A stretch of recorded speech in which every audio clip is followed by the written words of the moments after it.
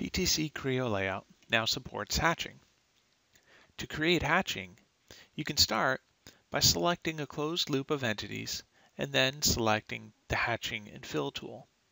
The Hatching and Fill ribbon will open which provides a number of controls to allow you to edit the cosmetic appearance of the hatching. You can select a hatching pattern from a library of predefined hatching styles based on ANSI and ISO standards. You can also set the color of the hatching, as well as the angle and the spacing of the hatch pattern.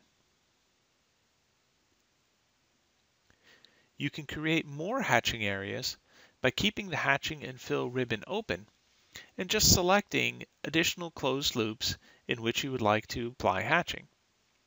This is a very quick way to quickly apply hatching to a number of areas in the design.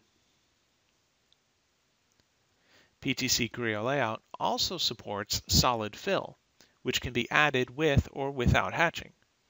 You can choose the solid fill color from the hatching and fill ribbon, and if you want a solid fill without the hatching, you can select the no hatching option from the hatching gallery.